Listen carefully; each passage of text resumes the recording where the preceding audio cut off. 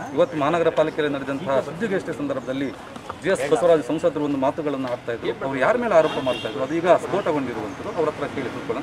Sir ಯಾರ ಬಗ್ಗೆ ನೀವು ಆ ರೀತಿ ಮಾತಾಡ್ತಾ ಯಾರ ಬಗ್ಗೆ ಆರೋಪ ಮಾಡಲಿಲ್ಲ. ಕೇಂದ್ರದಿಂದಲ ಇನ್ನೂರು ಕೋಟಿ ರೂಪಾಯಿ ಕೊಡಿಸಿದ್ದೀನಿ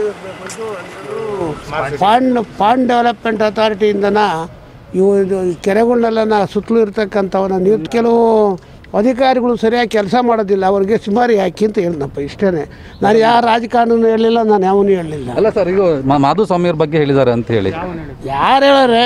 ಹೇಳಿ ನಾನು ಒಂದು ಸಾವಿರ ಕೋಟಿ ರೂಪಾಯಿ ಅಂತ ಯಾವ ವಿಚಾರದಲ್ಲಿ ಅಂತ? ಯಾವುದು ಒಂದು ಸಾವಿರ ಕೋಟಿ?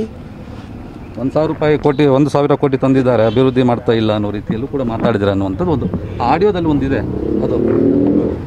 ಮಾಧುಸ್ವಾಮಿ ಬಗ್ಗೆ ನಾನು ಮಾತಾಡಿಲ್ಲ ನಾನು ಏನು ಇಲ್ಲ. ಒಂದು ಸಾವಿರ ಕೋಟಿ ಯಾವ್ದು ಬಂದೈತಿ ತುಮಕೂರಾಗ ಯಾವ್ದು ಬೇರೆ ವಿಚಾರದಲ್ಲಿ ಮಾತಾಡ್ತಾ ಇರೋದು ಅದು ವಿಚಾರ.